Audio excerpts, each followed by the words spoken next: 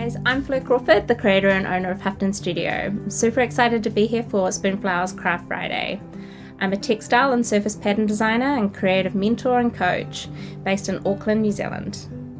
I've been a designer for about 19 years now in the fashion and textile industry, and over the years I've really enjoyed bringing texture into my work to create personality, another layer of depth and interest. This is super easy to do to create your own, and so that's what I'm going to be going through with you today is we're going to be making our own textures to really give a unique spin on our work and really like have a feeling of like I made this. This is all mine. Like I created the whole pattern. Um, so we're going to make a little bit of mess and we're going to find things around the house that we can create these textures with. Then we're either going to scan them or take photos of them and then take them over to Photoshop and then Illustrator to make a repeating pattern. Let's get started. I just thought I should give you an overview of some things and some ideas to create textures with, like sandpaper, bubble wrap, um, plastic bags, tin foil, um, Hessian um, can be a really good one for um, pouring over or inking up. Um, dried flowers, wheat, little sticks or skewers, toothpicks. Um, this is bark from my garden and it has really lovely like little wispy ends which could create quite a nice texture. Um, sponges that you could ink up and then blot um, with the ink. Um, anything from your kind of kitchen sink like this like wire. I've got this peg and clipped a little bit on the end here so then I don't get messy fingers and I could scratch that along the paper. Um, old um, paintbrushes where you kind of flick the ink and get a flicked kind of feel. Um, you could use a roller like this, an ink roller from print, uh, like a printmaking roller, to ink up the ink and ink up things like sponges to get um, uh, the, the, ink applied, or you could use a brush and paint it on like that. Um, I like some nice, a lot, a nice big stack of um, white paper. A4 size is always good because it fits in my scanner, and then um, just a little cheap Indian ink or any cheap black um, acrylic paint that you have on hand, so it's just easy clean up. Some extra things that you might need or would like are some gloves, so then you um, can keep your hands um, clean, especially with Indian ink, it can get really messy. Um, I've, I've, also got this, clear file which makes it easy to kind of ink up with if you're going to use a roller. Um, otherwise you could just use um, old, an old lid or something, a plastic tray or something to put your paint in. I've covered my desk with um, brown paper because I have a lovely big roll of it, otherwise newspaper or anything like that.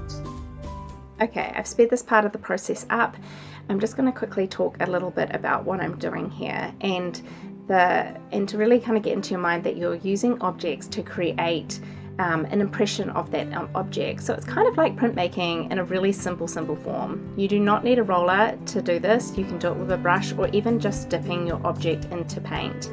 Um, yeah, I think this part of the process is about having fun and just like it's the process part that we all love about art making. So have fun here and explore.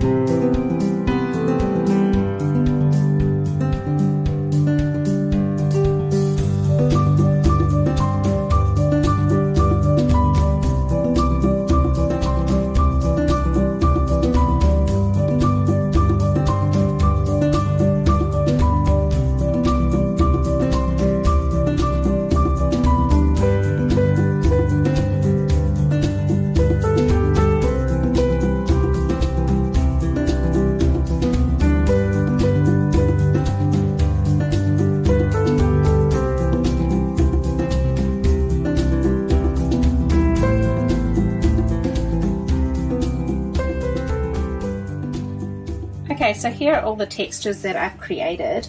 Over about 20 minutes, I came out with more than 20 designs. So you can do it quite quickly. Um, I just thought I'd show you this because this is this the roller one. When the ink is a bit heavier here, um, it doesn't work as well for a texture. So I just urge you to get your ink off um, and then try again and then it gets a bit lighter and then try it again because then it gets lighter and lighter. So went to that and then to this Um, I feel like when there's more negative space, they uh, tend to be better um, better used textures for when you take it over into Illustrator and Photoshop. Also, this one here kind of turned out really, really well. This was the um, the Goldilocks kind of um, steel wool that I kind of spotted across there. I really like this texture. I also really love this one here, which was from the wheat, and I kind of just dragged um, that across and gave a real organic kind of um, broken kind of line, which could look really lovely in the background of it for texture. And then this one is really, really faint. It's hard to see, but it's just a bit of splatter, ink splatter from the paintbrush. And then this one I really love as well, where I've dragged the big brush through just really lightly to create these kind of like lovely kind of textured lines. Um, the sponge was quite interesting, it's quite an interesting texture. Um, but yeah, as you can see, you can really build a texture library really, really fast.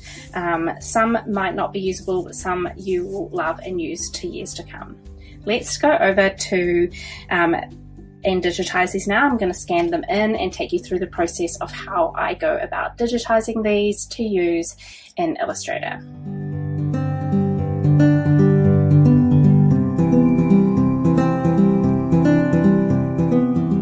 Okay, so here we are ready to take photos or scans of our um, textures. I use a scanner just because I find it comes out with a better result for things like this with like um, just the contrast of it. You get better definition than taking a photo, but you can definitely take photos. Um, just try and get nice and up close in the frame when you're taking it, um, and then you can use those. But I scan in at 600 dpi, this way that my textures will be good for um, lots of purposes in the future. This is an Epson V600 photo um, that I'm using um, and it's an A4 and it scans higher than 600 um, resolution which is great if I needed it but 600 is totally fine.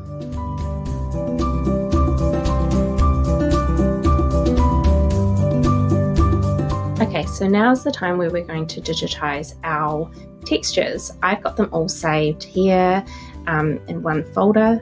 I think I'm going to start with this one. So once you open it up, I, the first thing I like to do is to crop the areas that don't have any textures in them. So crop off these kind of white areas just to clean up the image slightly. And then just hit enter. We'll zoom in a bit so we can see this. Then you first need to check that the mode, um, under mode that it's on grayscale. To make a bitmap, your image needs to be grayscale. Because I scan this in as black and white, it's already on that. The next thing we need to do is to just clean up the image slightly and make it the black's really black and the white's really nice and crisp and, and white. Um, you can do this over in adjustments. There's many ways to do this, but the quick and easiest one is levels. I like to bring up the blacks to make them really black and then to bring down the white to make the white areas really white. If you see this, I can kind of really play and change the texture quite drastically with these levels. So I just bring that down a bit to whiten that up and I don't want to lose too many of the like nice stuffy kind of details here. So I'll just bring the black to about there. It's already a pretty good image um, but if your image, you've taken it with a phone or that kind of thing, you might need to do a little bit more editing at this phase. Hit OK.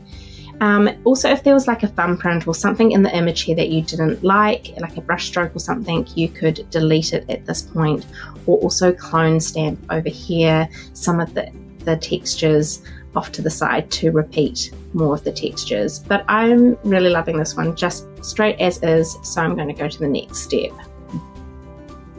head up to image and then go to mode and we're going to turn it into a bitmap. If you click on bitmap, then I'm going to make sure that this is on 50% threshold and I might change this to 300.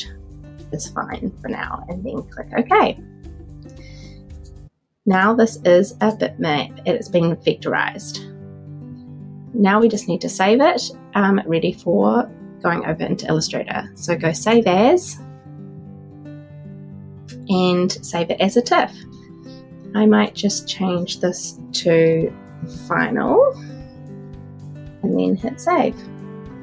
You can leave all these settings as is and hit OK. Now we are ready to take this texture over into Illustrator and do the final tweaks over there. Okay, now we're in Illustrator and we're going to place our texture in here. I'm going to show you the placed option. You can open up the TIFF file and um, edit it from there, but normally we're going to have other stuff going on. We're going to have our patterns maybe already started and we just need to place the image. So go File, Place, and then find your texture and click place. Wherever you click, it's going to place itself. So just click once and there we go. So this big cross through here means it's a linked file and you could go back and edit this if you wish. Um, in Photoshop, there's a button up here, edit in Photoshop, so it will take you back to Photoshop. But with these linked files, um, you cannot place them into a repeating pattern. It just won't work, so you need to embed them. At this point though, we can still recolor them if it's a linked file, which is like how amazing is this? Um, and but for the purpose that I want to use it for is to actually put it in a repeating um, pattern. So I'm going to need to embed it. So embed is just up here and now it isn't linked so you can't go and edit it, but that works fine for me. I can still recolor it. Okay, so I'm going to show you how I can add texture to um, an old design or a new design. This is one of my ones that I, I did a little while ago that I think would really suit some texture and just giving it a point of difference. Um, it is a great way to kind of go back and freshen up and add kind of a different feel or a different vibe to old patterns. I think it's really good to um, reflect back on old designs and go, how can we recycle them and work smarter and add kind of new life to them as well? So that's what I'm going to try and achieve with this pattern. So I've pulled out some of the motifs from this pattern and I'm going to add the texture to them.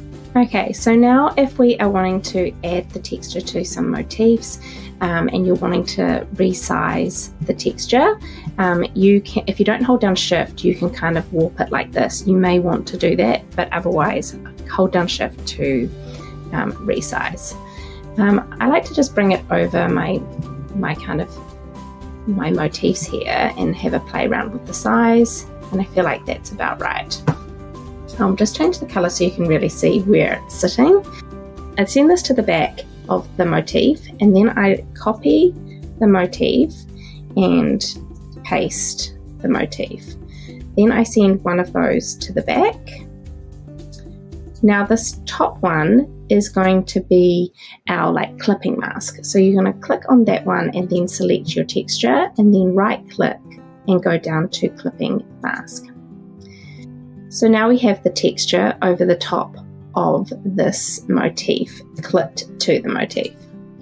From here we can recolor the texture. If you click um, A on your mouse, which is the white arrow, and then click the texture, we can recolor this. So we could make it the background color to make it kind of like a distressed look like to do a cream. So this is the cream. I'll just send that to back and you can see that there.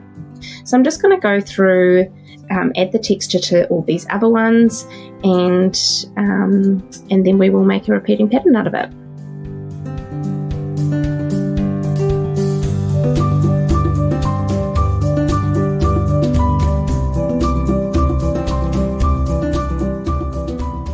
Okay, so now that I've added all the textures to the motifs, another good thing to make sure is that each motif is grouped. It just makes it really a better way to kind of organize your motifs and when you're moving them around when you go into the pattern mode, um, pattern making mode. Um, so I just make sure that they're all grouped um, individually and I can move them around easy. So I highlight them all and then go up to object and then down to pattern and then make. Within here, um, a pattern options bar should pop up and I click on this little icon at the top to start with and I just move my bounding box around and pull that in or move it to adjust. So uh, now I'm just going to have a play around and um, get this pattern looking right and then we can see what the final look looks like um, once we've got it all finished.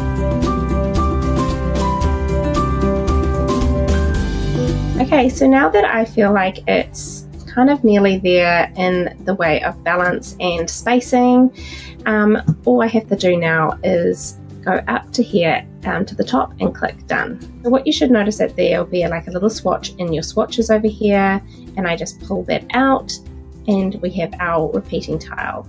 If you find the boundary box, I'm going to add a background to this now. So I'm going to double click and highlight that and go copy and then paste that in, paste that on top, like directly on top, and then color that. And now I have the background of the same as the texture. So it's got this kind of really marbly um, textured look, that kind of like rustic, um, a little bit distressed look to it vibe. What I need to do now to make sure this pattern is working correctly is just chuck it back into, oh, one thing I might do is definitely if it's for spoonflower, I want to expand my background. So I'm going to just click on the, use the, my white arrow um, my select tool, click on the background, and I'm going to expand that just by 1%. I have a quick key action set up for this already, so that's just going to expand it there. You can see now that it's just overlapping that boundary box a little bit. So then I know that I'm gonna, not going to get any white lines um, when it comes to the repeat. I'm going to chuck that back in the swatch box, zoom out a little bit, and I will draw a new box to fill. There we go. And you can fill that with your pattern. Um, this little this pattern needs a little bit of work for color balance and stuff, but really loving the vibe that it gives off and with this distressed look. Thought I would show these, my original um, and the textured one side by side just to show you how texture can add kind of like new life to designs and bring on different feelings and provoke different emotions. Okay, so I thought I would show you some of the other textures that I made um, in these shapes. Um, just to give you uh, some ideas and to kind of provoke, kind of like get you inspired. So this is the sponge, which I really, actually really, really love. It kind of reminds me of like rocks in texture.